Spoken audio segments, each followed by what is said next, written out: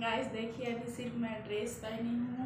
वहाँ पे जहाँ हम लोग जा रहे हैं, वहाँ जाने के लिए अभी ड्रेस पहनी हूँ। और कैसा लग रहा है मेरा ड्रेस प्लीज़ कमेंट करके बताइएगा। और अभी मैं रेडी भी हुई हूँ। अभी मेरा मेकअप बचा हुआ है। अभी दस मिनट और, उसके बाद फिर मेकअप वाला आपको मैं दिखाऊँगी। अभी फ़िलहाल इतना ही।